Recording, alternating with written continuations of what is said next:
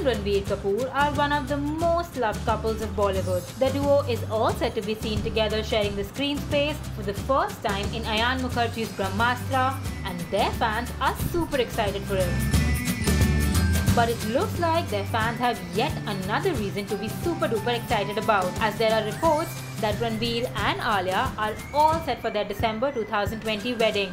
Yes, you heard that right. There are a lot of rumors doing the rounds about their alleged December wedding. The latest reports suggest that the couple has ditched the destination wedding and now they will be tying the knot in Mumbai. It is being said that the families of both the actors have decided to host a grand wedding in Mumbai in the last 10 days of December. Since Rishi Kapoor's health is also much better, the family is looking forward to all the celebrations. Reports say that the alleged wedding and functions might kick off on December 21 and it will be a 4 days affair, but the dates are yet to be finalized due to the ongoing situation.